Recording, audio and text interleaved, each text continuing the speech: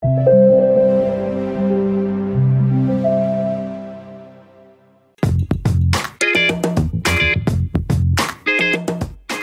everyone. Welcome, welcome, welcome to our first live stream of the localization news. My name is Andrej Zito. I hope all, all of you can hear me well. Uh, this is the first time that we're hosted by Multilingual, and we will be streaming the localization news on the Multilingual social media from today. This is the first time that we set our foot into the live streaming scene.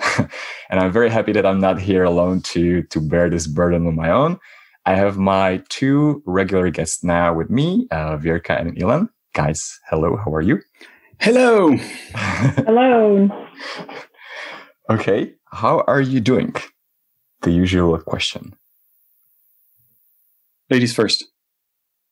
Doing great. Um, great to be here with all of you. And uh, um, yes, it's uh, it's been a very interesting time in in the U.S. I am I live I live in Seattle, and uh, so so for us in the United States, we're just uh, living through some historical times. So just watching that and and uh, but doing great. For people who don't watch the the U.S. news, what is actually going on in America? Yes, we have a presidential elections, which I think a lot of the people, even outside of the United States, are interested in the outcome of. Uh, it might change change uh, change the world, maybe. So, so yeah, I think that's at the top of everyone's minds at the moment. Did you already vote? I voted early. Uh, we hear we, it's kind of interesting in the United States. Each state has little different uh, rules and different way of voting. Uh, in Washington State, where I live, uh, we have only mail-in ballots uh, or remote voting, if you may. So we receive the ballots at home. We can mm, uh, fill that, fill them uh, in, and then we can either deposit them in the um, mailbox, especially uh, especially um, intended for for the elections, or we can put them in the mail. So I I voted um, three weeks ago, and you can then track your ballot. So I I could see that it was counted and it was um, accepted. So what they do is they match our signature on the envelope, and then then they count it. Wow. So yeah, so it's kind of cool. You can track, you can see what happens to your ballot. This is, this is, not a political uh, vidcast, but who did you vote for? did you vote for Trump or against Trump? Against Trump. Yeah. Actually, that's my that's my question. Do you think that is this about Biden or is this more about are you against Trump or for Trump? Yeah, it's interesting. Um, they are saying that people who voted for Trump are actually voting for Trump people mm-hmm. that they're not uh, voting against Biden, for example, right? But but they're saying that 30% of people who are voting for Biden uh, are voting for him. The mm-hmm. rest is voting uh, against Trump. So, so yeah, um, it is huge. Yeah, it's, it's definitely interesting. But uh, myself personally, I voted for um, more sanity and for um, just more more compassionate nation. Um, and so that's, that's me personally. That's yours. That that's yeah. It fits you because you're like the sweetheart from Czech Republic who immigrated. so you have these nice ideals. You're not like the hardcore, you know. No, I'm total idealist right? yeah. to a to a fault. so. Okay, Ilan, what about you? and compassion is what we're going to talk about today. Um, very good, very good. A lot of things have happened since last time. Um, we started to ease on the lockdown, which is good hmm. news. Um, doesn't change much because you're not going anywhere anyways, but at least you can, which is uh, which is nice. Um, Did it affect that, your I, kids? Can they go to school now or no? my older ones uh, have been on Zoom since day one, so it doesn't change for them. They, they still don't go to school. Mm-hmm. School comes to home, and my little one, yeah, she, she's in she's in school, which is good. um, apart from that, I don't have a side project yet, and I'm still working on that. So we are working on it together, right? We'll talk about it yeah. very, very soon. Very soon. Very, very soon.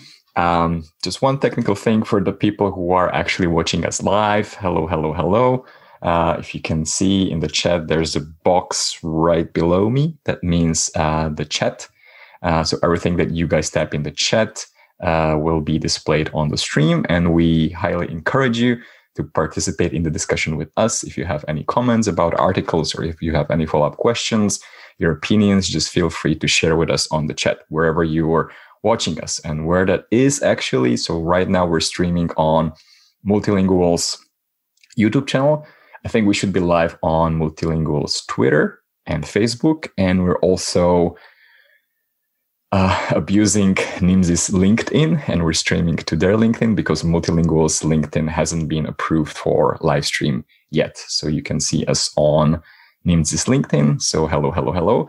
And if you can hear me, at least this is my request. Please at least say hi to see so that I can see if it's working or not. So that's it. Um, one thing that I would like to before before we get into the localization things, you know, the the boring stuff. Uh, let's talk about how we feel right now. You know, this is our first time that we're doing this live. Are you guys nervous or no? I think I am a little bit nervous. I'm still trying to put myself, you know, to be present here with you so that we feel like like this is just like a casual chat as it has always been. And the reason why I'm asking this is because from my experience, uh, when we keep this like stress or like I'm nervous about something to ourselves, like it's worse than just saying it out loud because when you say it, it loses control over you. So I wanted to share with you how I'm feeling about this. I'm excited. And I think like I'm getting in, getting the momentum, you know, like getting into the conversation with you, but I f- still feel like there's a little bit of pressure. I can actually feel it like at the back of my eyes for some reason when I feel like I'm not totally present. So, um, how are you guys feeling about us being live right now? That's interesting, is what you're saying about uh, relieving the pressure by talking about it. Because if you didn't feel it, now you do feel it because you're getting the pressure from the other. so, no, I was all right until then. Oh, but, sorry. Uh, I agree. I agree with Ilan. But why did you bring that up, Andrej? yeah. yeah. So I, I, I think I'm, I'm really excited because I think this is something I've never done, uh, going live uh, like this and um, so it's exciting. so, by the way, we have yeah. our first person in the chat, uh, Viviana Di Julio from Mallorca. She okay. says hello. Hello, Viviana. Oh. Perfect. It's working. It's working. Okay. That's great. So I'm not nervous anymore. Okay. I'm spreading the not being nervous to you guys. Good vibes. Yes, right. good vibes. Good vibes. so last time, the reason why I liked our last conversation is because we decided to save the world. and we established the multi-market Avengers. Easy. So um, we left the meeting with some action items, uh, mostly for you. so I would like to know what has been done in this area and what are we doing? So should I start? Yeah. Go. Or, okay. So I have contacted um, um, Translators Without Borders and had a long chat with Manuela Noske, who just joined them not long Maybe ago. we should just maybe we should just remind everyone what's right. the what, what the challenge was, is. Right, what was the challenge? So so the article we discussed last time uh, during our localization news had to do with underrepresented languages and the messaging around COVID that um, many many countries and many nations or um, different uh, locales um, have the advantage of going to machine translation to to make those messages understood and uh, that there is coverage um, if they need to maybe Google what they need to do to prevent the spread of COVID, for example. Um, but for some others, this is very difficult to achieve because there is no machine translation coverage for their language or not even a related language. So our challenge was to see how we can help being we are all in a in this industry, we have access to linguists. We have uh, also seen challenges when we have to um, move some messaging to to um, to be able to to uh, reach different uh, different uh, locales. So so we thought this would be a good way to see if we can, uh, from our capacity, reach out to um, different organizations and offer um, some help. So I have met up with uh, Manuela Noske from uh, Translators Without Borders and discussed with her um, what uh, Translators Without Borders are doing for COVID in particular, and how are they reaching those uh, challenging locales with with the messaging and uh, and from that really um, it was an interesting discussion because we just uh, were not discussing COVID only, but we were discussing in general how difficult it is to be able to provide uh, correct information to different areas and different locales. So what she told me is that for COVID in particular, they are working with WHO and they are reaching out to um, mainly African um, countries, and uh, they're trying to find liaisons within the different communities. And she told me something which I really didn't think about that much um, until I spoke with her.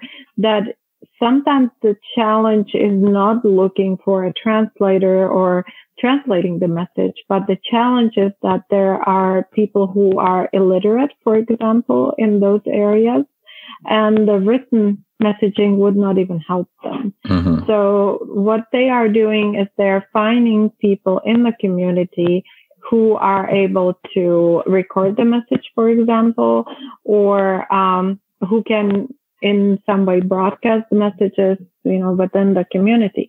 But she told me that, that one of the big challenges translators without borders are running into is that they have to, sometimes people volunteer to do this, but they don't necessarily always um, translate the message this uh, carefully or accurately. They might inject some of their own um, point of view, if you may, into the message, and that they don't have uh, professional linguists who do this.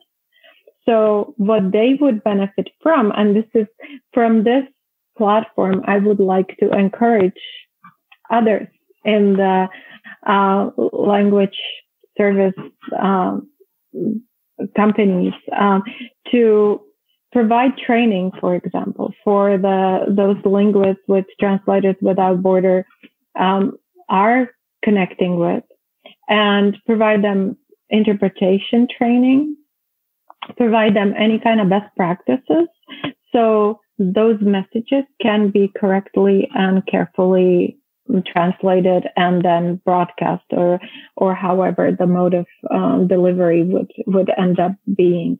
So so that was one one thing i would like to kind of um, suggest and mention. The other thing too is that many of us work with languages which um, are really hard to cover for translators without border. And um, what what I decided to do is to um, spark interest within our language resource pool to encourage our linguists to get involved, to help, to offer their help, to um, be able to be that, you know, that voice for their community and uh, provide that information to those communities. So this is where I'm encouraging all of you listening from other LSPs to see if that would be something where you can help. Try to spark the interest with your linguist and uh, and also volunteer and, and provide some of the best practices because I think that this is something what uh, Translators Without Borders would really appreciate. So so that is my message and that's um, that's where things are at the moment. Thank you for sharing. When you were talking about the training, two things that come to my mind. Translators Without Borders, I would assume that they would have some training for translators. And yeah, they do. They do, but not as much. That mm-hmm. um, that's what I was told. That that that would be something they would really benefit uh, from. Um, so, I mean, what I was thinking about is hosting some webinars or offering some webinars for their linguists um, who they could attend and and it could be more of an interactive webinar. Could be something also um, multilingual, um, and Nimdzi perhaps would want to be involved with. Um, so just suggestions, but this is where the need is. Shout out to Translators Without Borders and f- for the good work they are doing. That's interesting. I, I, have a question. Yeah, the the, the the the lack of translators is because they don't cover those languages and they don't have I, I assume that Translator Without Borders was counting only on uh, on volunteers. Do, do, do, do they pay for translations? I believe they do uh, for some. I'm not quite sure. I couldn't really speak on that, but I know that they are um, they are looking in different communities. and they do work with uh, WHO. I would imagine WHO has a budget for localization. So, you know, not quite sure. I cannot speak on that. Um, okay. Definitely big part is volunteer for sure. But then those, what you're saying or what they're saying is that they're a, the, the, the, the, the lack of care or accuracy is because those are not professional translators and anybody right. volunteers or do they come with an agenda of what they want to the message to be regardless which yeah i think i think for some of those communities it's really hard to know if this linguist is proficient or you know if they are giving the right message because they don't have a qa on it because how would they qa some very rare language or even just a dialect or, you know, regional, very regional, um, language used orally only. So, so yeah, I, I think those are challenges I didn't think about really. Uh, and, uh, and, uh, it was eye opening to, to, to hear that those are one of the biggest challenges there. So. That's, so in any good... way, I think it's a good, it's a good, I am encouraging people to think about that challenge and uh, maybe uh, propose solutions. Um, but uh, I think where we can help right from the gate is um, with some of the interpretation training and um, and with sparking the interest with those languages where they have challenge to to source and and I was told it's a lot of the African languages where the big need is. Just saying hello to the chat to Joshua Velasquez. He said my microphone was a little bit low. Can you guys hear me well? I think I increased it a little bit. You we guys can, can hear, hear me well? Good. Yes. yes. Okay. Mm-hmm. So going back to the topic, it's funny that when you mentioned the the lack of QA, which is kind of like a paradox because if you think about it, if there's a lack of QA, how do people know that the translations are not accurate? Well, that's what some of their feedback apparently has been, uh, mm-hmm. uh, you know, from the community that mm. sometimes those people, and I don't want to be speaking out of term or making right. assumptions here, right? But what I understood is that sometimes those linguists who volunteer use that platform to propagate their message. Mm. And um, so that they might get some feedback. Mm-hmm. Interesting. I made much less progress, I must say. Um, Sorry, Ilan, one more, one more thing that I wanted to oh, say yeah. about the training. You know, like, do we actually need to ask, let's say, Nimdzi or multilingual? Because I'm pretty sure that most of the companies actually do have a training for their translators. Don't you guys have a training when you onboard new people for translators? For, yeah. Yeah, for translators and for interpreters, we mm-hmm. do. But for for translators without borders, for their translators, you know, or for their interpreters, those interpreters who are not professional interpreters, who are just living in the community and they need to record a message or they are they are called in to interpret for someone in a medical setting, for example. Um, they are not professional interpreters. So how they conduct that interpreting session is maybe not, you know, not correct. so, so in those cases, if we could provide that, I, I, was, when I was just talking to Manuela, we were a little bit just, uh, exchanging some ideas and, you know, I was saying maybe we can provide some recorded training or we can just provide best practices. Um, and uh, she thought that that would be very helpful. What about you, Ilan? Do you have any training already in place? Yeah, we do. We do train. But it's mostly technical for uh, mm-hmm. new tools that they, they wouldn't have used before. Uh, the, the, the, the, the linguists that we recruit, they, they're already trained. They're professional linguists. So, so it's less on the, on the necessity of accuracy when you transfer your message, not to add your own opinions.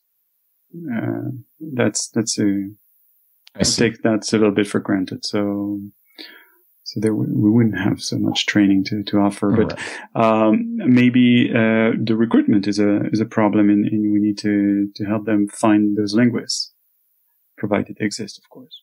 Mm-hmm. mm-hmm. So that they don't rely on non-professionals. Right, right.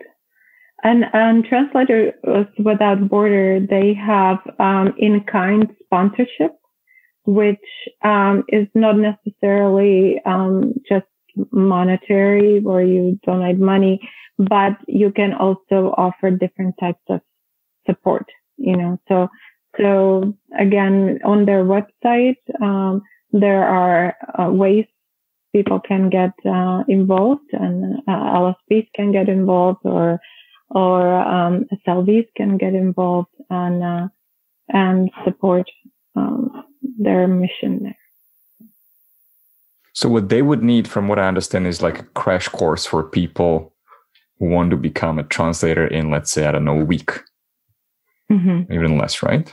Maybe even less, I think. yeah, like a yeah, that, that, that reminds me. I, I think I know who I'm going to reach out to. Um, I think my second interview that I did for my podcast was with Laszlo Kovac.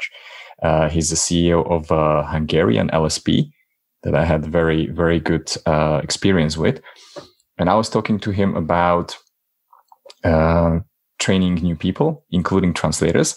And he told me that the way that he finds the new talented translators is that he doesn't expect them to have any degree or any formal education. He just gives them a, a test, which is about mm-hmm. how good you are naturally with the language that you have. Because, you know, there are things that you can teach people and there's like a talent for something. Maybe people have been writing their whole life, you know, so they have the, they have the right thing to, to convey the message in their, in their own language. And then they just kind of like give them the basics, like what a translator does and maybe how to use CAT tools. So I think he might have some idea about how to shorten the length from there's a person who has never heard of a translator's job to actually getting them to translate something accurately. So I think he might point us in the right de- direction or help us with this. I don't know. Mm-hmm. That's what I'm thinking. So that's what I can take on. Okay. What about you, Ilan? So you are supposed to get in touch with WHO. So we technically already yeah. connected. So we're not there yet. We're, we're not there yet. We're, borders, right? But we're making progress. Um, um, I went through the official channels uh, of the Ministry of Foreign Affairs and uh, the person in charge of keeping in touch with the WHO and other uh, health uh, or organizations worldwide. Uh, and that's where we are at the moment. So they wanted to know exactly what languages we're talking about, how, because it's uh, formal, it's, it's got formal. So, so I need, I need to, to get more information mm-hmm. in, in, order to, to be sent to the right person. Right. But, um, do we still think that the problem is with the minority languages? Or do you think that they're also struggling with the with the big languages for which we have a lot of translators? Yeah, I did, did that didn't seem like um, that's where the struggle is. Yeah. I think there's a lot of information out there and uh, and so there's access for sure. Um, it's it's those um, underrepresented uh, languages, you know, whether uh, and those dialects, I guess, you know, mm-hmm. being able to make sh- making sure that the right message is being being uh, given in the community. And again, I think, and this is my personal observation, and even when I talked to Manuela, we kind of validated it. It's uh, there's a lot of even political or or um, you know, um, I guess um, religious influence. So so sometimes um, a message, quite innocent message, might seem to the the people suspicious because they have had bad um, some bad experience with you know coming from from politics or even from the religion. So so that's another challenge to give credibility. So so it's coming from a place where it's credible. That message is coming from from from a space of credibility and uh, that it it is um, uh, accurate. Mm-hmm. Now I'm just actually thinking like, what would be our next step in this whole thing? Mm-hmm. And I'm not sure, Ilan, if it actually makes sense to talk to try to get more information out of WHO if they're already kind of like partnering up with Translators Without Borders because then it might seem like like we're trying to be the the the the the, the competition to them. Um, maybe we should just focus on helping translators without borders, and maybe we should get Manuela to to the show. That would be great. I think she's uh, she's someone of you know great integrity and and uh, someone who is very knowledgeable in this area. Yeah. So so, so yeah, Manuela, I think it would be great. Manuela, if you're here, just uh, pop in. We're waiting for you. this is live. yeah, maybe she's not here right now because uh, we're just starting out. So I think Virka, you can take this on. Maybe you can invite her to, to mm-hmm. our next session. And in the meantime, is there anything else that we can do? I'll reach out to Laszlo about the training, and then mm-hmm. maybe I can circle back to to you guys and Manuela. And um, so that's the training. Do you right. think there's anything then, when it comes to yeah. Finding people with the uh, with the niche language uh, mm-hmm. specialization? Is that maybe where the big people like multilingual Nimdzi or Slator could help out to find those people? I network? would think so. Yeah, I think this would be a good good shout out to all of you SLVs in Africa, and, you know, even other areas of the world, Asia, um, you know, where you might have some, um, some resources where you might have linguists you are working with. Um, would be great if, if we, um, if you could reach, if you want to, you can reach out to us and we will connect you in the proper way or go directly to translators without border with your with your offer of um, help. Um, so I think this is uh, this is a kind of a call for for help and um, for doing some good. We're good Avengers, right? Yeah, we're, we're, we're, we're compassion. Right, compassion is our yeah our mission here. I'm just trying to think like how we can use what we just said like, should I just cut it into a clip and send it to to Slator, multilingual Nimdzi, and like, hey, put this on your social media every day at 12 p.m. so that people react.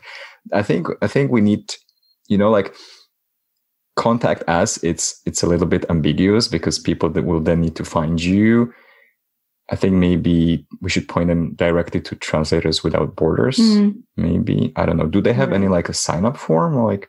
Or yeah they do they they do you can go on their website and there's many ways you can get involved what I can, uh, what we can do is we can probably um, maybe put out a little call for help uh, and formulate it in the right way, uh, mm-hmm. so people are directed um, directed to the right place. Yeah, Nika, and, this is for you if you're watching. That's our marketing think, director. Yes, and I think uh, again we can. I will reach out to Manuela and uh, invite her to our next uh, news, and um, we can probably get even more detailed uh, information and way we can all get involved a little more. We don't want to overwhelm the uh, translators without border either. so right. if there's yeah, so so let's um, let's kind of um, bend with them and do it uh, in a way where it would make sense. I'm still thinking about like last time we identified that the that what we're going to do, especially Ilan, is to find the gap. Like WHO has these languages covered, and these are the languages that they have not covered. Is that the information that we can get from the translators without the borders, so that the message that we send out to the people is more specific? They're like, like, hey, if you see your, if you find yourself in this list of languages and you speak these languages, please go contact, because then we might end up like either people with with with with languages that are already covered will will submit something, which will lead to overwhelming translators without borders, like you said, Virka, or the people who are I don't know, who are representing the small languages, they will not react because the message will be kind of like a very global. You know, like if, if the more targeted you are, the more mm-hmm, you can right. speak to the people. Yeah, I think it would be good to have a list of mm-hmm. languages. So, so yeah, let's try to. That could be my my uh, uh, commitment for next time. Get the list. Yeah, I think you should ha- have it with Ilan so that you guys also oh. do something together outside of this session. okay, yeah, we can. Ilan and I will band together on this. Yeah. Ilan needs his side project. Unless Ilan, you have some other ideas what we could do. No, I think that's definitely the the first thing to do is to to identify the gap, and that was uh, the purpose of contacting WHO directly. But but yeah, if if Translator Without Borders is already the one single point of entry for translation as far as WHO is concerned, and we might as well just go with them and, uh, mm-hmm. and we'll know which. Yeah, I'm not sure. I'm not sure if they're the single point, mm. um, you know, of uh, contact for WHO. That that I don't know, um, but I know they're working with them on those African languages.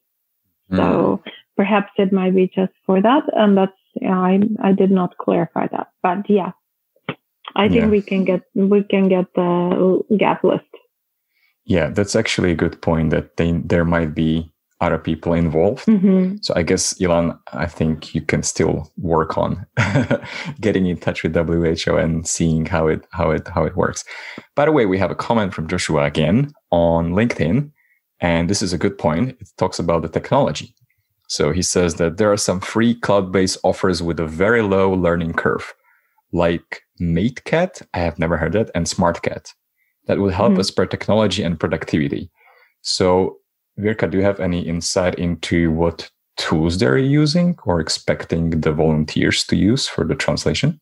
No, I don't have any um, any uh, visibility into that. To me, it sounded like um, they do have certainly a technology um, department within Translators Without Borders, um, I'm not quite sure if they are using CAT tools or, you know, if they, if they are, um, I would assume so, but for some of the dialects we were discussing, that to me sounded like a language which doesn't even maybe have written form or anything where um, that it would have a keyboard, perhaps. Um, mm. So, so, uh, you know, again, these were very rare uh, languages for maybe very small, small group of people who speak them. So, but that's a good point that, uh, for, um, some of the languages, I would assume that they would have translation memories, um, that they can recycle, um, the, the translations. So, mm-hmm. definitely a good point. And um, maybe we can discuss that with Manuela when she's here. Okay. I had one more thing when you were talking about the voice, that the voice localization might be more necessary than the written translation. The, the, the thing that I remembered was I know that Mozilla had this open source project. I think they created some some engine for for voice recognition, and I think it's called Deep Speech, and it's open source, so people can tap into the data and they can create something out of it. And I think Mozilla usually covers a lot of these niche languages as well. I think Mozilla mm-hmm. was translated into like Firefox was translated into I don't know 180 languages or something like that, if I'm not mistaken. So they have a lot of things. So I'm not sure if Translators Without Borders are aware of that, and if it's or, and if it's a data that could be used for for this project. Mm-hmm. I don't know. That's another thing that I was thinking. Right. Right. Mm-hmm. we have more comments from Joshua. Thank you, Joshua, for being so active. pontoon, pontoon. Yeah. So Joshua says, "Oh, we have Javi. Javi, hello, Javi." Uh, so Joshua says, in terms of linguistic competence, what Andre is explaining, no degree needed, is something that is being addressed in the multicultural marketing space. Academics and experts explain that most translations aren't done keeping in mind the education level, including the social, cultural, and personal circumstances of the final reader. Complex topic. If a message isn't relevant or clear, it won't matter if the comma or period was in the right place. That's a good point definitely. I think that kind of goes hand in hand with our today's article on plain language writing, but uh, let's wait. yeah, yeah. Stay so, tuned, Joshua. So, um, Avengers, are we are we done with our session? Anything else for this first part of our initiative? We have our to dos. We're ready to go. Good. Right, ready to go. So let's start with the the news coverage. I'll I'll try to be quick uh, so the because my my device is very limited. This is all I have, and my phone is, by the way, actually a little bit broken, so it's very difficult to read the text. Uh, the the article, actually, a bunch of articles that I picked for today is related to Amazon's screw up when it comes to entering the Swedish market. And I'm pretty sure if you don't live under a rock and if you look at your LinkedIn feed uh, from time to time, you would notice that Amazon has had a huge translations issues when they launched their Swedish website. A uh, couple of the things that I would bring up from the from the examples is uh, I'll start with the video games because that's what my that's my favorite topic. Uh, one video game, The Legend of Zelda Breath of the Wild, was translated as The Savage's Breath, while a racing game Need for Speed Payback, uh, this is what I'm familiar with, was displayed as Do you require speed refund? so funny. Another game, Watch Dogs 2, became Look at Dogs 2, while Star Wars Battlefront 2 became Star Wars Battery Front. Okay. Meanwhile, an Airfix box containing models of Russian infantry became Russian infants, while Nintendo's video game console, the Nintendo Switch, became the Nintendo Circuit Breaker. Okay. And then there are a couple of more that are more offensive. I think to satisfy the audience uh, that we have right now, I will skip on those. I'll just mention a few things. We're PG 13. We can't say that. Right. Yes. Yeah. I, I, thought that you dealt with your kids, Ilan. Other guesses were more vulgar. Calvin Klein boxer shorts turned into men's luggage trunks, while pearl earrings were described as being ideal for European prostitutes. There we go. And I think I'll stop there. when I was reading this is guys, I want your theory how can this happen in the first place? Is it because they don't have the MT engine for Swedish trained, or or what? What is going on with your knowledge of MT? yeah, I think raw machine translation kind of took over. so with no QA or no, not yet. Mm. Um, I think one other thing too, which which I found interesting, was that on their um, they have used uh, Argentinian flag oh, yeah. instead of Swedish flag for the language. And that, that to me is even more mind boggling how that could happen. You know, machine yeah. translation going crazy. Those, all of those mistranslations that kind of is in line with machine translation, you know. Um, how, so the ambiguity there, uh, of English.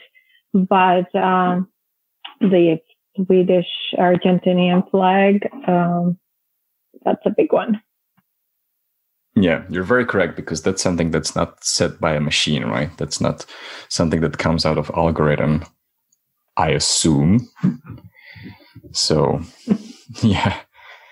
Okay. Um now, do you think it was intended?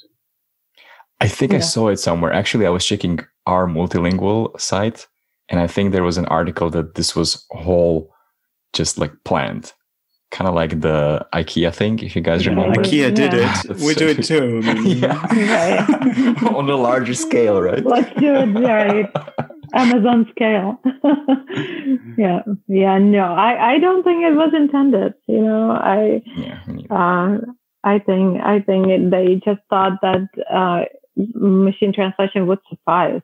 You know, I, I mean, I've worked uh, with companies which do product listing and they try to go that direction. And it usually, uh, unless you train for some time and you really, um, watch the outcome for, for a long period of time to, to tweak it so it performs well. Um, it's usually a disaster on product listing.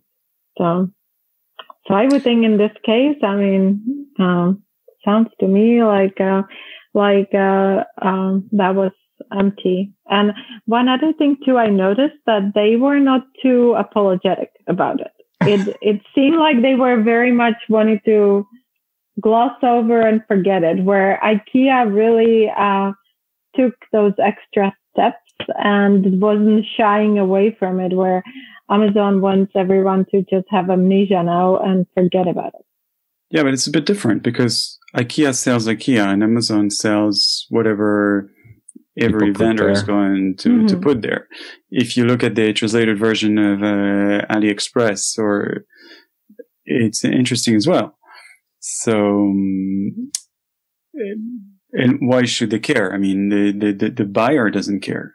So here it's, it's funny because, because it's funny or it's offensive, but how how bad does it reflect on on Amazon themselves? Uh, even if it's not intended, I, I don't think it's.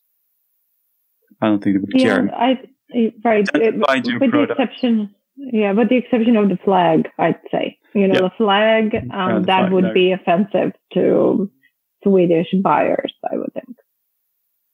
Yeah, that's a that's a very good point that you guys bring up. That it's Amazon is mostly user generated content and mm-hmm. for that, you need to use MT. So you probably have to start somewhere at some point. I'm just thinking about like if you're deploying MT on such a scale, like how much preparation can you do before that? Like how much is the cost involved in training it to a certain stage where once you launch MT for a real marketplace like Amazon, that it would not have these kind of issues? Or if this is just like their MVP, for those of mm-hmm. you who don't know what MVP means, it's like a minimum viable product. So we launch like with the minimum set of features so that the users will not kill us, but they will start using it and we will get better over time. Yeah, um, it's it's a good point, and I think it's a business decision. You know, what whatever they want to do. I I know, for example, eBay is you know similar type of uh, uh, setup. Um, they have trained their engine for a very long time before they went raw MT. Um, so, um, I, and I'm seeing it, you know, currently, um, you know, we, we have at Akorbi a, a, a client who is similar, also um, product placements and uh, same thing. They they actually got burned by having um, someone apply machine translation to their product, and uh, and it really turned off the buyers. And so that we you know we were just working with them and something doing something very careful where machine translation is used to a certain degree, but not raw and uh, and heavy training. You know what would be actually interesting? To me, it would be interesting to see how fast they recover and how fast the changes get into the site. Because what I remember from the articles is that they were very encouraging people to submit these issues. So I'm just wondering if people did that and how fast mm-hmm. it reflected on the website maybe even if we had time right now, you could look for the the chicken at Ilan to see if they're still translated as uh, something something. but but yeah, that that that's what I'm thinking. Because mm-hmm. if they, if they do it fast, like yeah. people will forget about it, and probably nobody will come back to this. Like like Ilan, I think you were pointing out that people would just forget about this eventually, especially if the issues will be fixed. But to me, it would be interesting to see the recovery. No, but take take also in consideration the, the number of products they have and uh, how many mistakes. So here, Twitter uh, was a nice relay for for all the the, the big funny ones. Um, the most offensive, mm. but but but what what does it represent in in in our catalog? And every every other uh, Swede logging in and looking for whatever uh, I don't know, keyboards, screwdrivers, whatever I have around me, uh, and, and there it's going to, to appear just right. So it's, uh, I'm not sure. And again, I believe, I believe customers don't care that much because yeah. they, they have, you know, it reminds me a little bit of the, um, of the funny behavior. I mean, the unlikely behavior of, uh, of uh, computer displays in uh, in bidirectional, and and as soon as you have uh, two languages like I'm, I'm more uh, familiar with Hebrew and English, but and it switches direction, and and your sentence is is all over the place. Okay, you type a, a message in a I don't know a, a very famously used uh, messenger application and, and you have two languages and, and it's all over. And, and people got used to it and they, and they know to decipher that. And so, so true. It doesn't appear nice. It, it should be like this, but okay, I can live with it. So, so I don't recognize the rape seed under the rape, but I got there because I was looking for, for that thing. I'm not, I, I didn't search for rape in the, in the Amazon catalog and, and found the, the, the, rape seed, uh, whatever it was. So, so it's okay. I, I understood. I got it. I can buy my product now. Yeah. So I maybe for what, some products, it's, it's turning off if you're talking about, right um, that type of products that you can be turned up. But uh, we're not naming anyone, so. Uh, but for uh, for for whatever you're you're going to buy uh, on Amazon, uh, mostly, maybe it's uh, it's not that bad, and we're making them a lot of promotion. We we just gave we are we are twenty minutes, right? I I think though too, it's the type of product as you said, right? If it's you know, basic products like spoons and books and things like that, fine.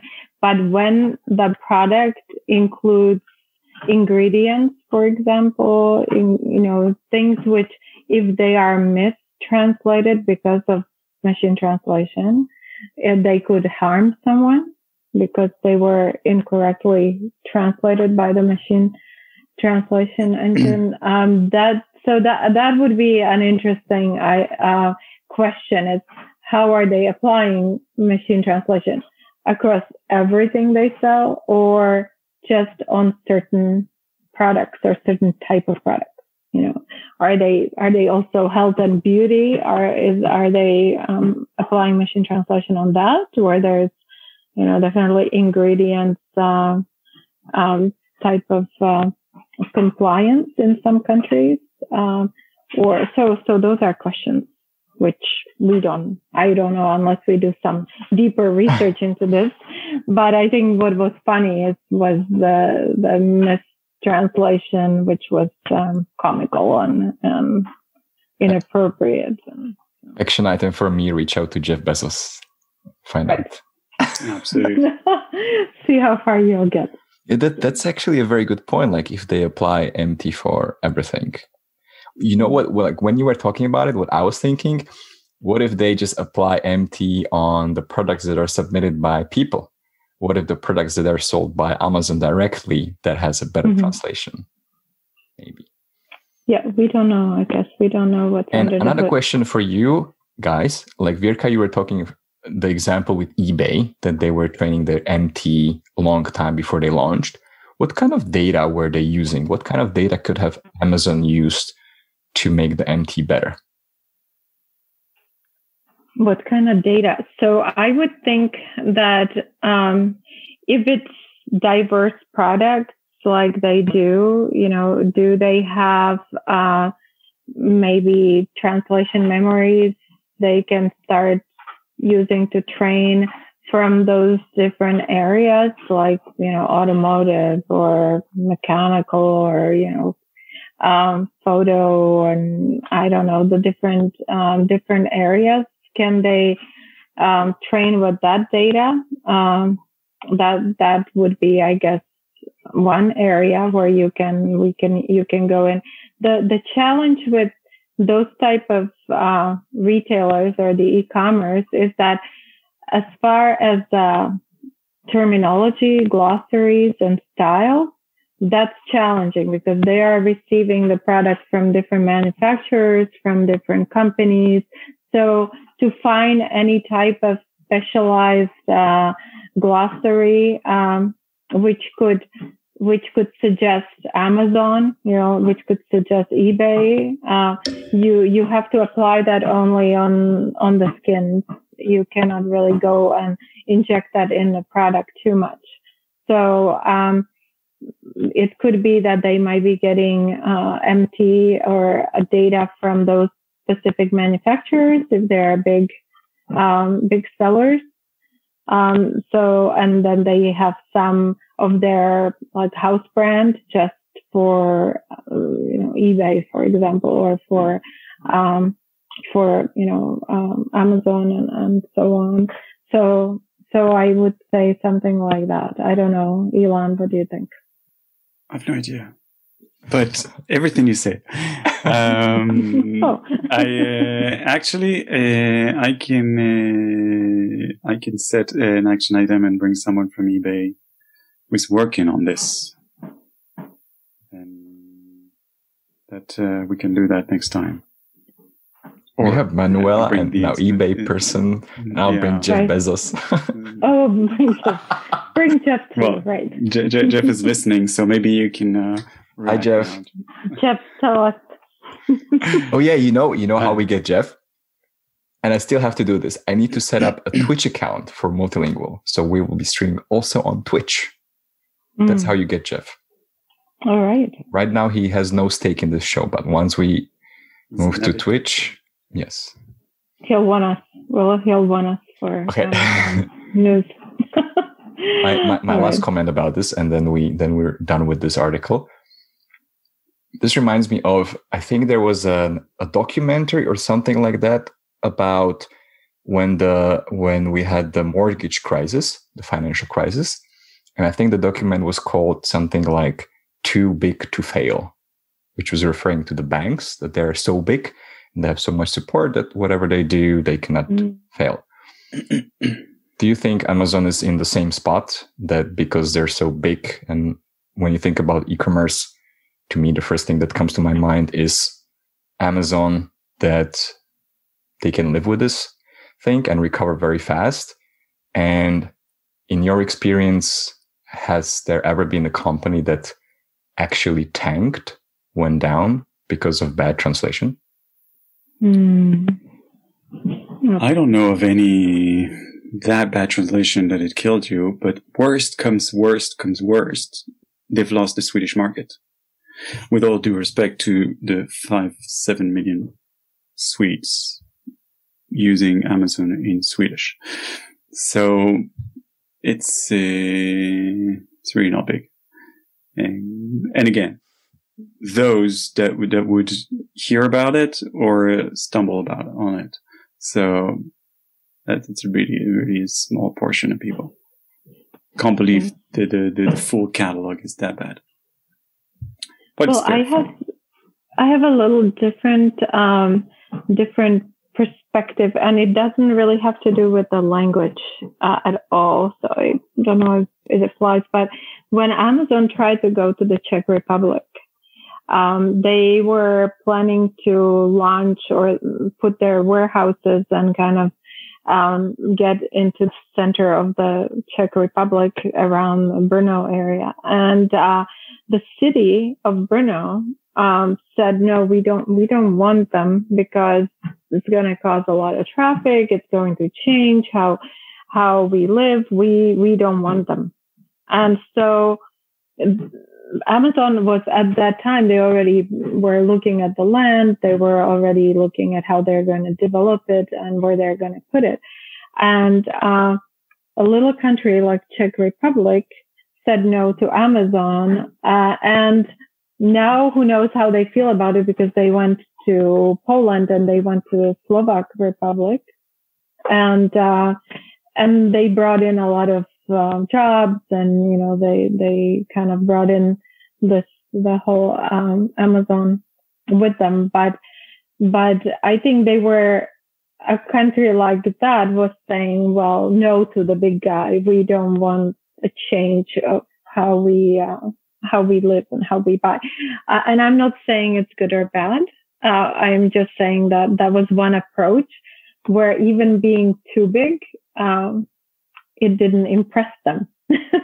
so, yeah. so I, I don't know, you know, it doesn't have anything to do with the language at all. Um, and what we're talking about or what we are here. The Czech people have already experience with that uh, because they are the ones. I think it's there are four countries in the world where Google is not the most used search engine, and Czech Republic is one of them. The people still use Seznam. Seznam, yeah. yes, yes. Right. So mm. maybe so they they have real uh, attitude. yeah. or or we do. I do. I'm part. It's hard to I'm from there. Czech. Yeah. I guess so, right?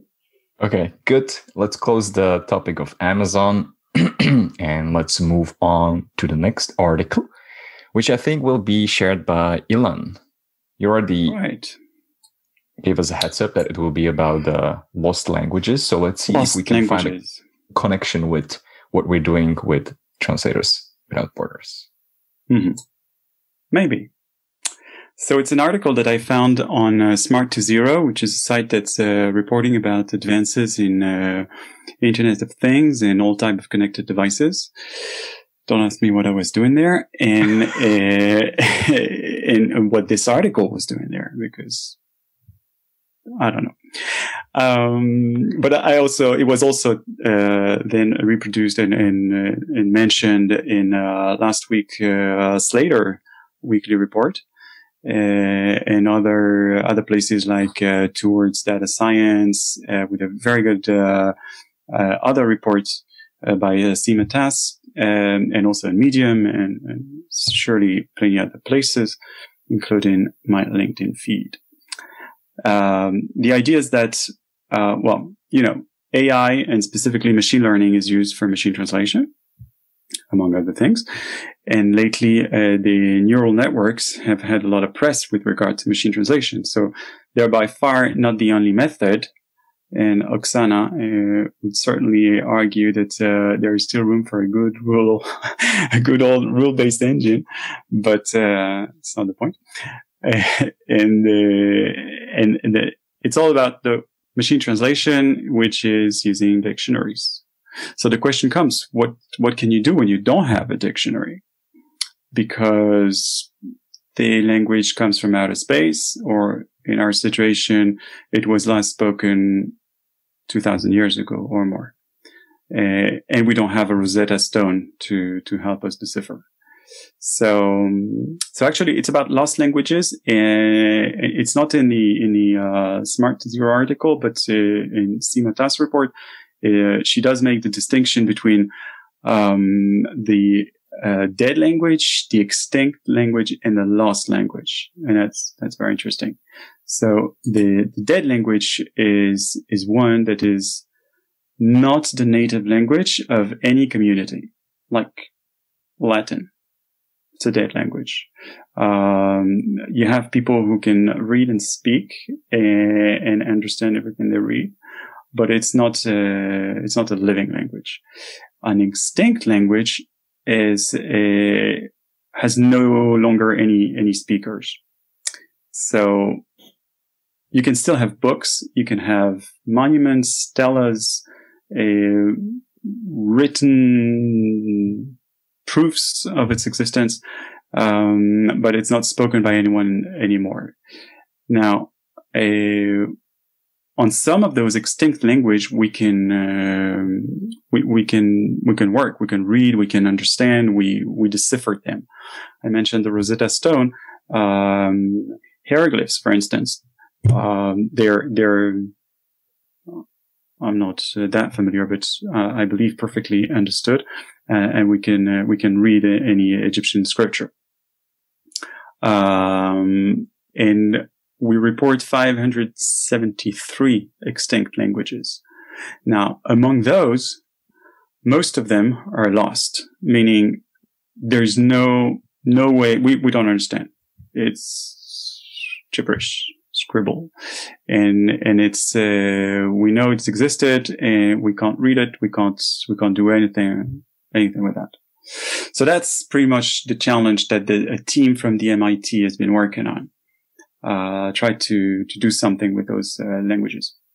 Um, now the deciphering of outer space languages is a little bit uh, far away from the, their the, their work but they, they made really fascinated uh, fascinating uh, achievements um, actually they work on the similarities uh, between the languages and the probability of specific alteration.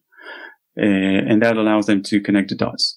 So uh, one example that i could think of which is not uh, an article but uh, the, the the word for father in german vater uh, you immediately, if you don't understand German, you, you recognize you have the F sound at the beginning, you have the A, T, the R at the end. It's, it's very, uh, it's very common. Now you can approach that to, uh, Persian, uh, pedar. Uh, F and P are, are very, are very close actually, uh, in some languages. Uh, it's even the same letter, like in Hebrew, for instance. Uh, and, then you have the D, the th, and the ra at the end. So um, you, you immediately see, understand the similarity. So there, there's a connection between those words, which uh, are pronounced the same, look the same, and actually they, they mean the same thing. Um, and probably I, I, went ahead and find a Sanskrit uh, uh, possibility of, of, relationship, which is Peter, and that's also uh, looks very very similar. So uh, in this lab of the MIT, which is the Computer Science and Artificial Intelligence Laboratory, CSAIL, uh, they, they, they worked on that uh, on the distances between the between the languages, um, and they applied their algorithm on on lost languages, which actually have been deciphered. Uh, so it took decades of manual work to to to work around. Um, but we believe that uh, that we can now read those scriptures, which are Ugaritic, uh, which is related to Hebrew, and Linear B, a very interesting name for a language, which is related to Greek. Uh, and those uh, applying the algorithm to those languages uh, shows that that yeah, you can decipher the languages the way we know t- to do because we've done it manually. So if you apply, because your, the, the algorithm works on the, the distance between the languages, um, you can apply it to other languages, which for which we don't really know if they are parent to to what language. And they took the uh, Iberian language, so it's some some language that was spoken in the area of Spain, uh, hence the name Iberian. Uh, which was believed, or it's still disputed between scholars, if it's related to a Basque uh, or Latin or Greek. And the the application of the algorithm shows that it's too distant and it's quite unlikely that it's related to any of those languages. So the the question of iberian is still still open. Um, and now now the big hopes are for uh, for the future to to decipher completely the totally lost languages without inferring any related language and to be able to to understand what it means even though you, you have no idea how it was pronounced and and and obviously how to read it. And that means and that means that we're about we we're about to know how close to French Dothraki is. and, uh, that that's a special for our viewers from last time, but um, that's the that was the idea. There is there is big hopes to uh, to apply those types of algorithm to totally unknown languages from within, without relation to without translating. Actually, it's uh, hmm. understanding from within. So it's a very um, interesting uh, piece, and uh, and thank you for uh, to uh, Simatas for for this uh, this nice report. In addition to the Smart2Zero. Thinking, what is the real world application of this? Um, apart from the sake of learning more and and knowing what is written on this stela that we found in the backyard. Um, nothing. I,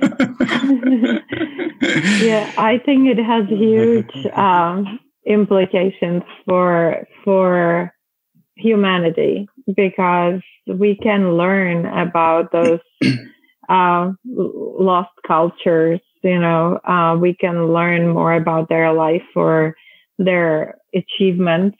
Um, so great application. I found that article fascinating too because it talked about in the past, it took 20, 30 years to many humans to try to uh, understand and try to map out the language grammar and just kind of the mechanics of the language where um, the AI was able to to do it in uh, a relatively short time. So, so I think this is a, a amazing application of AI for me. You know, I, I, just thought it was uh, brilliant that this is what they uh, used it for.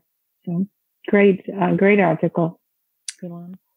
And uh, thinking about applications further uh, further away, if you're able to understand and decipher, maybe you're you're able to produce the content. Mm-hmm. And there we go. You have your machine translation for those uh, underrepresented languages, uh, which uh, which are even it's even easier because it's spoken. You can you, you bring can bring the guy and teach the machine to to produce the, mm-hmm. the thing, even though you don't have all those uh, tons of gigabytes of uh, of the training data that you need. Right. So, yeah.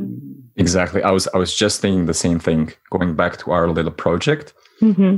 technically, if you have many underrepresented languages that are close to each other, then technically you just need to find one person who is good, and then you kind of like adapt it to the other languages using the algorithm if it was able to produce translations or content. Yeah.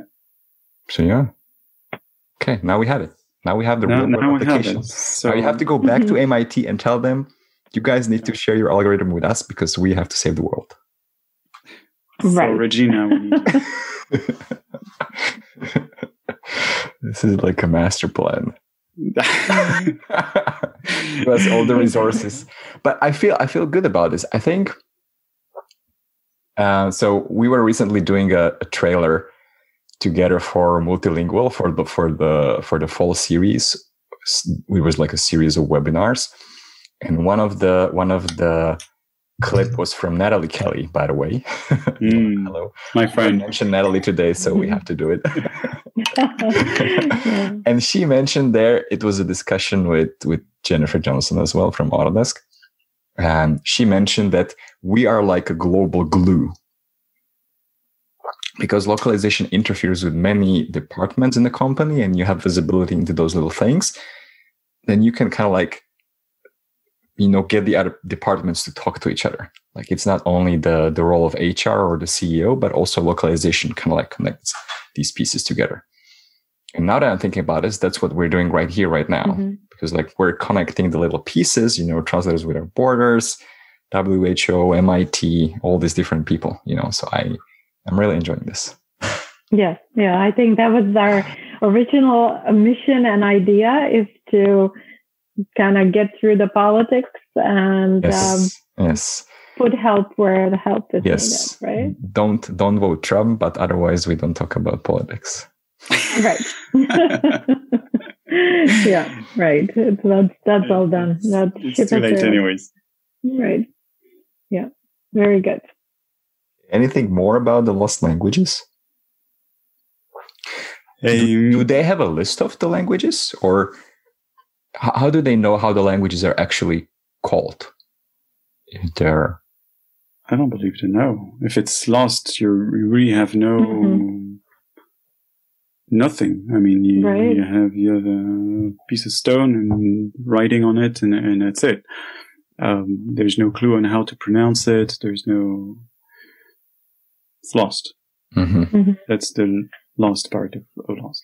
So, do do they provide any kind of, um, I guess, reference to the AI? Like this, it came from a stone in this region of the world and it was found in um, you know under a city something or or it was in a like that's does the AI have that reference to maybe infer what what the text could be about?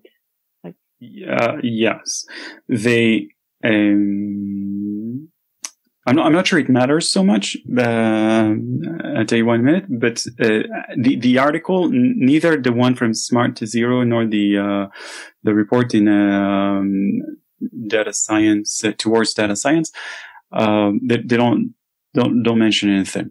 And I, I didn't go so far as to read the the actual MIT uh, publication, mm-hmm. but um, uh, but yes, the, the, the work they've done and, and the examples they've used uh, were very localized. I mean, geographically. So when when you work on uh, Ugaritic, whatever how, whichever way you pronounce that, um, knowing that it's related to Hebrew, uh, they gave that information to uh, to the machine. Mm-hmm. And please, someone from MIT, correct me if I'm wrong and I didn't understand that, because we're live now. uh, but uh, right in the chat right now. Like right now. um, and I don't, I'm not sure it matters so much because take the example of uh, Iberian, which you, you, you, very much know where it is and, and still you, you, can't connect it to the languages around or Basque, uh, which is still spoken and, and still something not totally understood. I understand that um, it's a it's a small region, uh, the north of Spain and south of France, at, uh, just at the border, uh, and, and, they have their language, which is nothing like nothing else. So. Uh, even if you know that it's from there, uh, trying to, to, to use the fact that uh, it comes from northern Spain and, and infer with, with the languages around, actually the, the algorithm proved that it's too far away from uh, Iberian. It's too far away from Basque and from Greek uh, and from older Germanic languages, I believe, uh, to, to be related to them. So it's it's the it's the first conclusions uh, of the of the machine output. Doesn't mean it's not related. It's, statistically, it's weird that would be that it would be connected. So, so I'm not sure how how important uh, the information of where it was it is coming from uh, for the algorithm. But but obviously, if you're trying to understand, knowing that there are transfers, I mean, obviously between Czech and Slovak, there must be very obvious examples of transfers of uh, of letters that you replace one by the other, and that's it. You got your mm-hmm. yeah the word in the other sure. language. Mm. So Yes, I'm thinking Very about good. I'm thinking about Veverička. Veverička. yeah. How do you say it in Mm. Czech? It's a squirrel, by the way. The Veverka. Veverka. Uh, Yeah. Mm. Right. Okay, how about we move to the last article, Virka? Okay. Because you also Sure. had some initiative in mind. Initiative number two, because we don't have We don't know. enough we to don't do have it. enough. So right, right. Uh, okay, so my article is called Plain Language Writing, Essential Part of Accessibility. And um, it was published in Forbes on October 22nd of this year. So um, it has to do about um, producing uh, plain enough language and plain enough text for people who might have intellectual, developmental, or learning disabilities.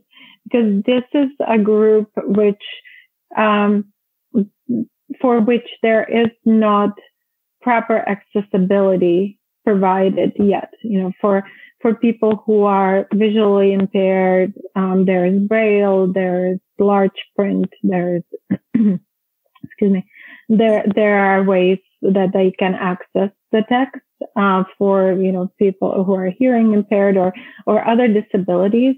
Um, this is being considered quite largely, but for people with the intellectual or developmental um, disabilities, the text which is currently available to them is not altered oftentimes so they can understand it. So the article spoke about um, the art of plain language writing, where the more complex text is distilled down to the main message using um, very common words, using short sentences and making it understandable or just summarizing it in very simple terms. So, so that message is accessible to them. And um, translation was also included um, in it, and also the approach. So the translation side um, of this topic was not really um, developed in that article at all. It was mainly focused on English and how there are writers out there who can take the text and they can uh, preserve the information but make it accessible and readable uh, for for the audience uh, from this this group. Um, for translation, it was just mentioned briefly, but what I was uh, looking at and and thinking about is, do you take that article, the complex article, and translate it directly into plain language, um, in Mhm. the plain text, uh, or do you have it first, um, the the source taken and transferred into the plain text and then just translate it. And um, I was thinking, you know, what what is needed is uh, is uh, putting together style guides, putting together um, the kind of a cookbook on how to do this right. And uh, that it certainly is a, a, good area where we can all be more proactive and uh, we can we can talk to our clients about uh, is this something which which you are doing right now or should you be doing that to make your material more accessible to uh, to a wider audience or to where it counts you know um, so so and then well, as I was thinking about it, I was thinking about other ways. You know, what about just books um, for pleasure reading, right? For for uh, for not just messages which are you know important from you know different different uh, business uh, or help uh, clients, but what about just making other texts which we all enjoy accessible to to people who might have learning disability or you know um, developmental intellectual disability. Um, I think we're forgetting about this um, this part of our population, and and uh, so that article sparked another area where where we could be useful um, as in language community, and uh, we can focus more on uh, trying to make more more text accessible to others. I think with machine translation, with uh, all the uh, activities of you know last 20 years, there has been a lot of wealth which um, which is written, which has been um, which has been uncovered for, and, and widely available to to um, the you know humanity, um, but we we can even do better and bring it to the groups where um, there are disabilities. So. So that's that's what that article was about. I don't need to get into too much detail in it. It yeah. was basically basically just this, you know, how can you and I think it's interesting for us who we, you know, we're in the art of translation where we want to accurately, with all the information available, uh, make make uh, adapt into all these different languages. We don't really talk about leaving things out too too often. You know, we we talk more about including all the information, but this is leaving things out, but preserving all the, you know, the sense of the story. So. Yeah, I, I had a couple of thoughts while you were sharing the summary of the article and your your thoughts on the initiative. One of the first things, and you even brought up yourself, is who should be actually leading this initiative? Because you know, like the the, the whole localization industry, especially LSPs, we are mostly in the position where we are like, okay, this is what we are given by the client, and then we do our magic. Do you think that the clients would even start listening to this to kind of like simplify their source text?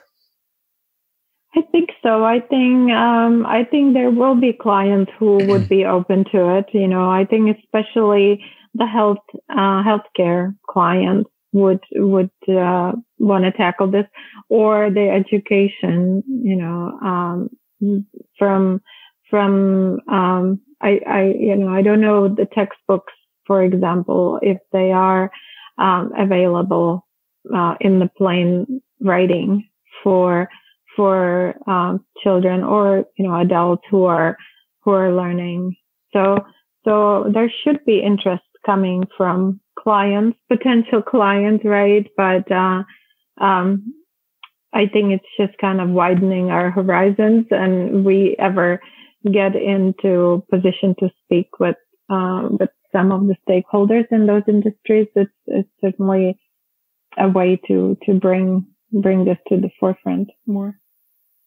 There are two perspectives that I see. Mm-hmm. And actually, I'm just going to repeat what you said. One of them is that the clients change the way they write a source, which the article is about, right? Making the writing more accessible. And the second thing is where the English stays as it is, but we as a as a as a translation community uh, take the effort and simplify it. And is this something that you have already been doing for some cases? Like for example, let's say you see like the the quality we don't talk much about the quality of the source text a lot. You know, sometimes mm-hmm. it has issues. We report those, at least we used to do with our previous, in my previous job. But what, what, what about when it comes to the complexity of the, of the sentence? Do you report it back to the client? Do you just take the direction and just simplify it in the translation without leaving any important message out? Or do do translators try to stick to it because that's what they think is expected of them? So uh, from uh, my current um, job, uh, we at Akorbi serve to a lot of healthcare clients, and they often ask for translation in the fifth grade uh, level of yeah. understanding, right? So, so there is certain simplification happening already. Um, this is, I think, even step further. So, okay, um, if I um, can interrupt quickly, my mm-hmm. question is: so, if they ask you for that, does it mean that what what grade level is the source text that they give to you if they have to ask you for this? Is is the source already grade level five, and they just make it explicit that you need to stick to the same complexity, or do they give you something more complex and they they just ask you to adjust it to to lower the complexity only for the translation? Yeah, I I don't I don't believe um it, I I mean it is in that grade level in English already. Mm-hmm, mm-hmm. You just need to stay with that mm-hmm. when you are translating, mm-hmm. right?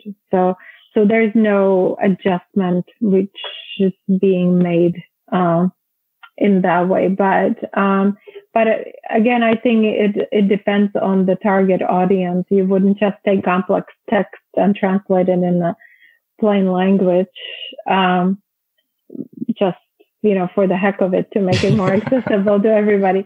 So so it will have to be in unison uh, with the client and the intent, you know. But I think that it could be done both ways. So let's say, for example, it's a school, right? And they, they have a textbook for, for their students, but they also want to make it accessible to, to the, uh, um, developmentally or learning, you know, people with learning disabilities, then you can take that textbook and you can directly make it into plain language in, in that language you are translating into. I think it's certainly doable right? To, to, to do it that way. Um, so just, just thinking about the different applications of, of the plain language writing and where it would be, uh, you know, where, where, it would be appropriate. Um, so I, I, think it can be done both ways and, and it again would have to be something, um, where the client would have to share the needs and, and, uh, agree on, on the steps. Ilan. Yeah. Say yeah, something yeah. smart. Um, before that, I have to say it made me feel very uncomfortable reading that article. Um, because that's the elitistic French in me saying, what? Are you crazy? Um, but, uh, but I'll get to that after. The, is that different from the simple English? Because a few years back, it, there was a, a, big hype about simple English and, and, the aim was to write in sixth grade level, if I remember correctly. And here, from the article, it's, uh, it, it reads like you're, you're targeting five and lower. Mm-hmm. So so how it's, it is different. How it low is. are you going to to to mm-hmm. get? I mean, it's it's beyond. First of all, it asks a question: Is any idea conveyable to at any level? Um, mm-hmm. and uh, and where it got even more uncomfortable is when I realized that actually lots of the recommendations I realized uh, I'm doing uh, when I write an email, for instance, like one ID and that's it. Uh, if you have to have two ideas, then you have two separate paragraphs and make short sentences and don't use words that you're very proud of being able to, to fit there because surely nobody knows them. Uh, and, and, and that causes confusion and so so I, I felt like you can't do that. You can't possibly be suggesting to, to lower everything to, to, to the, the lowest level, but actually, hey, that's what I'm doing. so, so yes, maybe there is some logic to it. So, uh, how, in, in, how do you see the difference between simple English and, and plain language?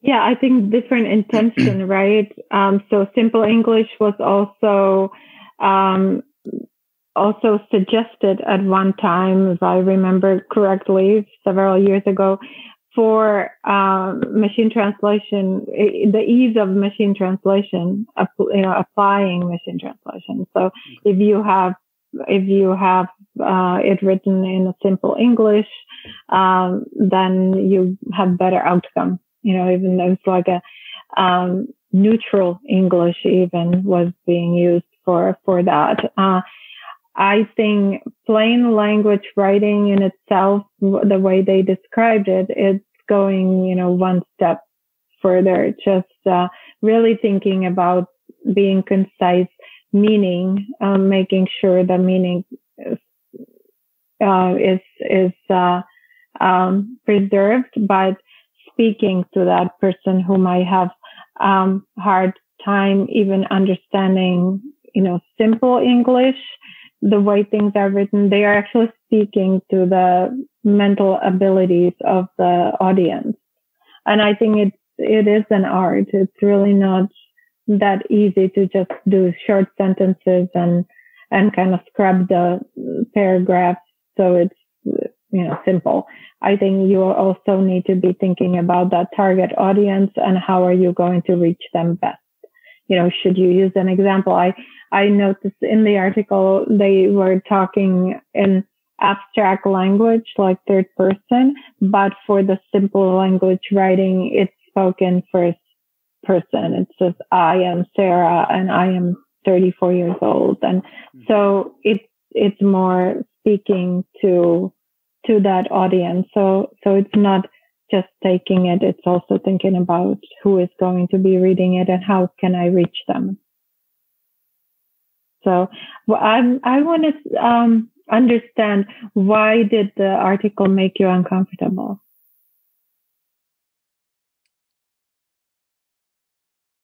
I, I um I don't know. I it's um it's first of all just uh, before uh, I get to that the the uh, if you ask your translators to to to change the level as they translate when they, they get whatever they get and you do okay now you're going to translate and lower the level um, I, I think it uh, it's beyond translation. It's it's something mm-hmm. else. It's um, it would so, certainly require other skills. Uh, completely defeat the anything that they've learned in their uh, in, in, their uh, education of, of uh, if they have a formal translation education. Um, so, so that, that, that is also going to be a challenge, but probably not that different from what we encounter in transcreation. Transcreation, yeah, exactly. You're telling them, mm-hmm. make your own. Mm-hmm. Um, the uncomfortable was about a, so that means that you, you, you can't express yourself um, so obviously it's not applicable to all ideas and all types of documents and, and everything. But, um, but when you, you, when you compose your message, uh, you're, in addition to the, the, the, the idea, you, you're also conveying something else. I mean, a, emotions, feelings. Mm-hmm. Yeah, and, and, and, and an experience of, of the language you want to pass. And, and so you're thinking, forget about that. Now you're talking to kindergarten and try, try something else. And that's not the message I wanted to pass. So uh, I'm, I'm going to create this, this, uh, um, fashion, this trend, this, this new normal of from now on, lower your level. Um, and it, it's, counterintuitive. I mean, you, are trying to, to, to, to bring everyone up and, and, and educate and, and give them more elaborate ways of thinking and, and, and expressing themselves. And, and when they got to that level, you go, okay, now go down. So that that made me a little bit uncomfortable. Now, it, when you read the article, it's it does uh, it does say something else, and it does take to you to another uh, another direction. So so my uh, uncomfortability changed as as I was reading.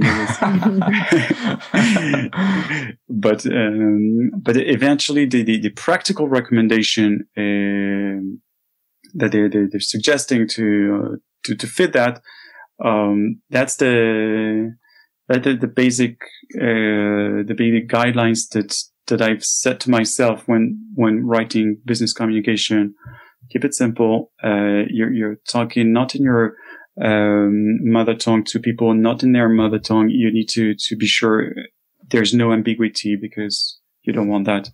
And, um, and, and, we need to, to pass the, the message. I mean, we need to, to ensure the message is received and understood. So you, you need to simplify a lot. Um, yeah, it kind of shows what you think of your audience when you're writing. you know, to Um, but uh, but no, I think you're not true. taking any chances. Just just right. You want to be understood. Right. Yeah. Yeah. That's yeah, and I I can I can say that that it I write that way too. I do a lot of bullet points and organize it so the message is you know right there. So I think we do that when we want to be understood. Unconscious, yeah. you know, conscious. It's an unconscious effort. From what so, I understood, yeah. Ilan, when you were sharing your thoughts on the article, to me it seems like a balance between practicality and the art of the language. You cannot have both sometimes. And that would actually, I think, Virka, maybe you were even saying this. Should there be two sources?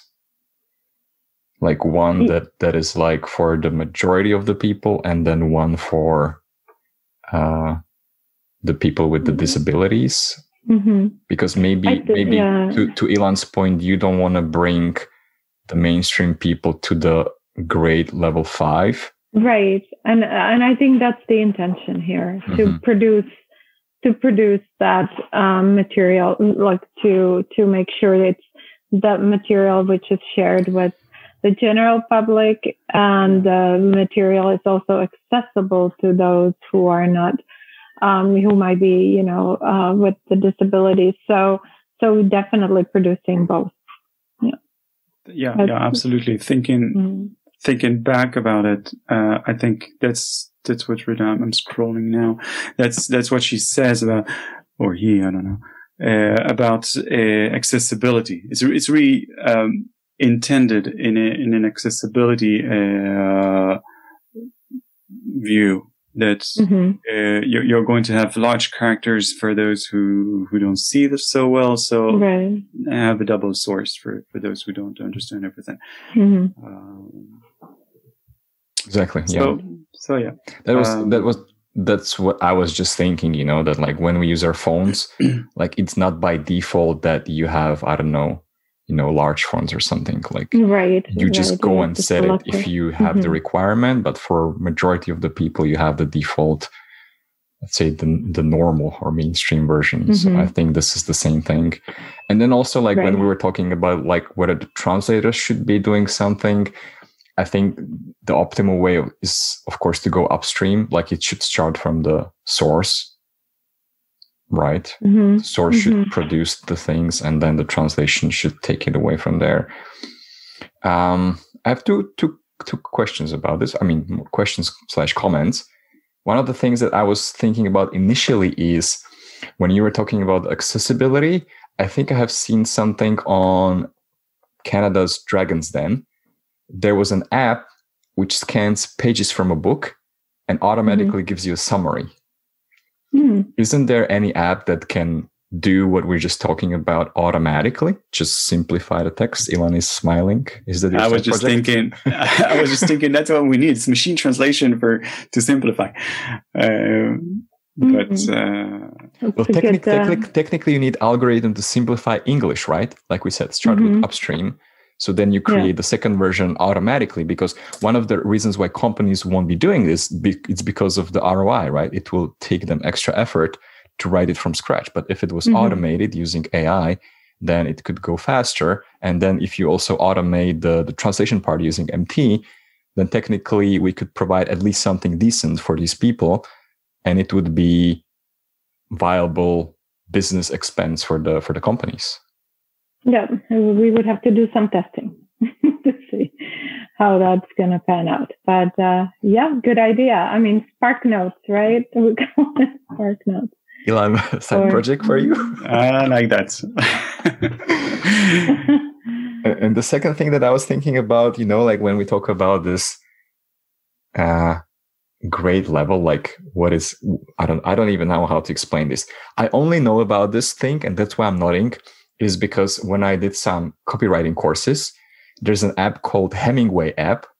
You can just mm-hmm. use it online. And when you write a text, it gives you the grade, like grade level five. I think you should mm-hmm. target to have grade eight or lower for whatever I'm doing.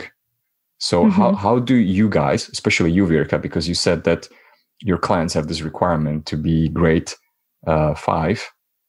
So yeah, how, how, how, how do you check this for the localized languages? Is yeah, there, there is a tool. tool. Uh-huh. There is a tool. Yeah, definitely. So, um, so you can actually uh, validate it with the tool. Mm-hmm. So, is it like a standalone yeah. application, or is it together with some QA checks? I don't know. What What is the tool? No, it's um, yeah. I I can give you all the details because I have never even uh, explored myself. But um, yeah, there is a tool. It's an online tool um, and uh, you can you know evaluate the text by putting it through the tool to make sure that it is within that level. Um, good idea for me to actually look at it more carefully to to understand how it works because uh, that's uh, that's as far as I know that that there is a tool to yeah, measure. Yeah, a lot of uh, readability uh, evaluation yeah. tools. Yeah it's a yeah, it's a web based. So let's try to wrap up this whole thing. I'm still unclear about our action items for this new thing. Did you did you for this new thing? Yes. Yeah, I think I just just being aware and uh, and I I guess maybe think of a way where plain language writing could uh, could be um, something more widely used. Maybe some applications.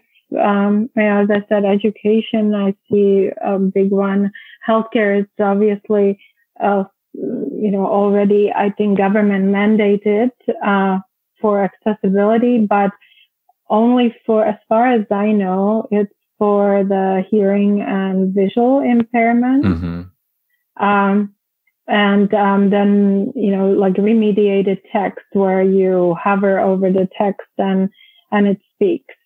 Um, that's also an accessibility, which is already mandated. It's 508 uh, compliance, which which uh, government mandates. The text is uh, compliant to that.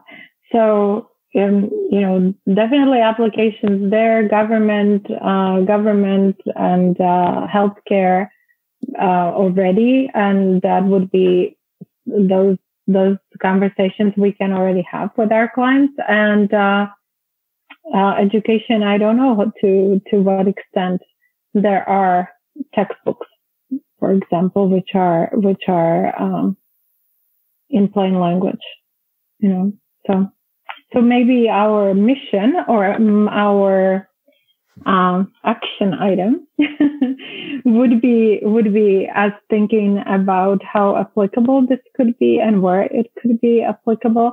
I really like the idea of uh, uh, some automation being introduced. So um, I don't know, you techie guys want to take that. Well, Ilan Ilan will go and make friends at MIT for the first initiative, so you can ask them about this one as well. Right, we can we can bundle this one in. Why not? Right? Two, two, two for one, right? Yeah. yeah. Have, uh, lost in so, play. Yeah. Um, sounds nice. Sounds nice. Do we have any uh, interactions on uh, on the on the feed? Uh, anybody's? Uh...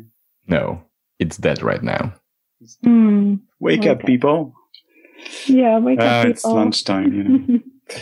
um, okay, interesting, interesting. The uh, making uh, making the, the the the authors of the source or the owners of the source aware of the, the, the understandability level might be possible only after we make them aware of the quality of their source. And that's difficult. so, so I, I, for the applicability uh, in clients, I, am not sure how far we, we can go there, but um, I'm going to try because we're the adventures. In the beginning, I was talking about that uh, in my previous job, we did have some um, kind of like an internationalization report that we were trying to summarize for the clients who were writing all the copy that we got to translate. And we try to report to them how many issues there were. So this is not about like simplifying the text. It's just like you have this many issues and we are fixing it on your behalf so that then the issues don't propagate to all the languages that have to deal with this translation. Is this something that you guys are doing as well? I think it would be a good start mm-hmm. because you can then add the, the complexity of the source text to the discussion. Mm-hmm. Yeah, we are definitely doing that for our clients. You know, we have, uh, we report that to them um, anytime we find source text errors and, uh, and they are very appreciative of that as well, actually. So, uh, definitely, you know, this is best practice for sure. Yeah. yeah, same here. Same here. We do, we report, and sometimes you get the unexpected answer, yes, but leave it anyways. Hmm. Yeah. yeah. So it's you, validated. So you normally don't have the right to fix the source? Never? Or depends on the client? we uh, it depends what type of uh, of issues you have. And uh, obviously, you're you're you're giving back the translation and not the source, so it's not fixed. I mean, the the, the master source is still with them, so they will need to to fix it. Um, if you if you realize you have a typo in uh, uh, something that happens very often in as as and n the article, and it's obvious. I mean, you know which one is the correct one, and uh, it's not even close on the keyboard. But I don't know. It happens a lot. Um, so so that you fix on the fly, and uh, and you might report or, or not even report. Uh, but uh, the, the, the the more uh, serious problems when the, the the source contradicts itself or or for no reason you have twice the same sentence. Mm-hmm. Uh, you do get sometimes leave it, leave it. It's it's there. Yeah, it's, it's validated text. You you don't touch that.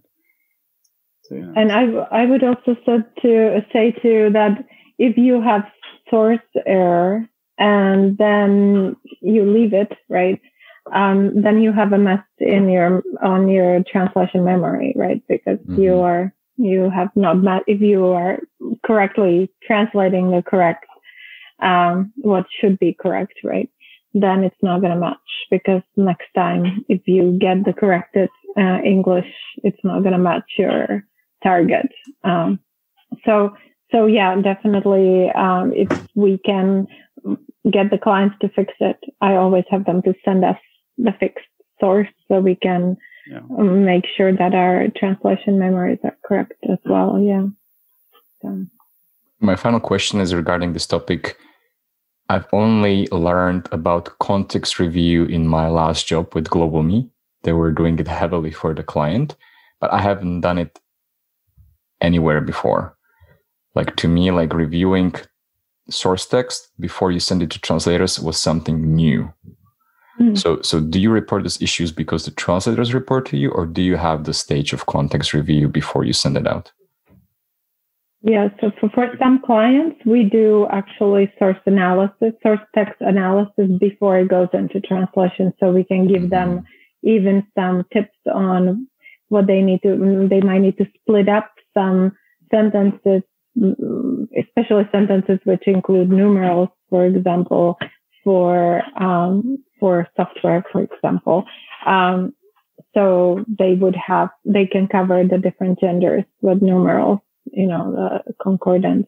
so yeah, we we do that for some clients where we actually provide it as a service source text analysis, and uh, yeah, but yeah, it's a good thing. We don't. Uh, we report what we find, but there, this, this stage is never. Uh, we haven't been so uh, talented at selling that, so so it's not happening Right. usually. Yeah. But Okay. So, any final comments from you guys regarding the article or in general? We made it, I would like to say, yeah. our first live stream. so, how are you feeling right now? And I will not say anything because I will just affect you. So, how are you two feeling right now? much better. Was it different? Mm. Was it a different experience?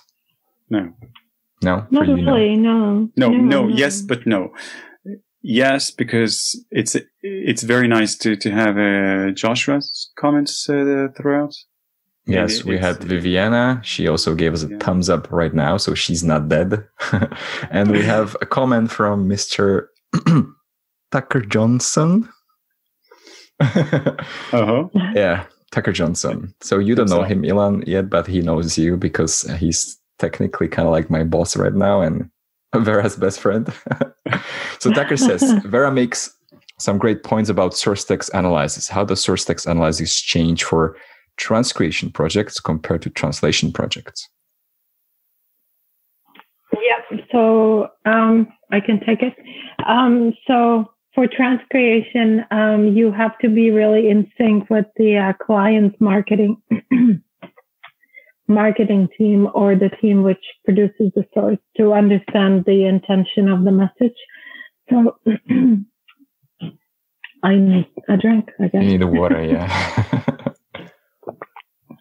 Yeah. Um, so I think that's really important that to analyze it from that intent of that message and then um, being able to craft the transcreation uh, accordingly to to so so that's different types of analysis i think you analyze it from uh, what would be the suitable uh, transcreated message what what how do you need to transcreate it by locale you know you have to refer to local um, um you know I guess depending on what it is, right? But but if it is um, um, perhaps marketing of a new product being sold in a different location, and you want to refer to local points of interest or mm, local, I don't know, of customs and things like that, and adapt it in that way. Um, that's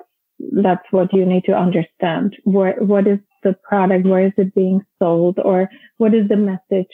How it's being sold? Um, what is the ambiguity? Like in English, uh, I know with a lot of the um, IT companies, for example, when they are launching a new product, they they use very simple message, but it has an ambiguity to it, marketing ambiguity. Um, On purpose, right? on purpose. And so making sure that if that's the intent, how can it be um, transcreated for the given locale?